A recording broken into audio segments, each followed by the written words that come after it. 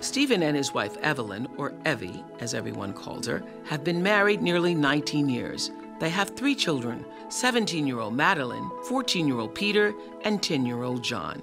You never get confused. No, I don't really like the other guy very much. You don't like the other guy? No, I brought him home by accident once. You did? And well, what I happened? work on the way home. I work in the car. Yes. You know, I, I read my scripts. I get driven to work, and I and I read my scripts going and coming, and often I'm improvising as the character in the back seat.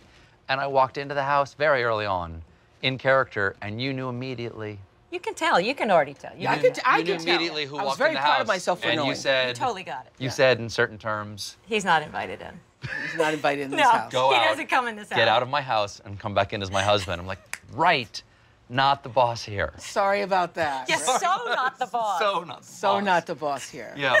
So what was it about him that you said, I can say I do for the rest of my life? That's so hard, right? I mean, it was how I was an improviser at the time. Yes. well, but- but it was so many things. You know, is how kind and generous he is, how smart he is, how he wasn't making a lot of money. no, no, that was a little scary. Really, wasn't frankly, either. frankly, really, he was making like no money. No, I know, but he, he he's good. And I kind of I watched him perform, and Yeah. uh, Second City is different. He was on stage all the time, so he was working all the time. And um, I don't know. I, I You rolled the trusted me, dice. I which rolled was- the dice. You roll I the couldn't dice. believe it. Is he a romantic? oh, very yeah. He is. He is a romantic. He is. He is. I don't know about that other guy, the character. He is. What's the most romantic thing he's ever done that you can share? Oh, All right. Well, this may not be the most romantic thing he's ever done, but this is something I can share. Yeah. Okay, I'll take that. when we were first dating, I lived in New York and he lived in Yes. Chicago. yes. You know what I'm going to say? I think so. So um, I lived at the time in a ground floor apartment. Yeah. And so Stephen was coming to visit me. At the time, you were, he was understudying Steve Carell. Yeah. And in the show that he was understudying at Second City, he had to play the, The uh, baritone, the horn. I had to play a brass instrument. And And, I don't play it, but I've never played a brass instrument. So he in my had told me this. kind. This is my story. So he had told me this over the phone. Yes. Over the phone, he said, I have to learn how to play this instrument. Yeah. And I kind of forgot about it. So I'm sitting there thinking it's I had six days to learn it. Okay, go ahead. I'm thinking it's about time. He should be coming.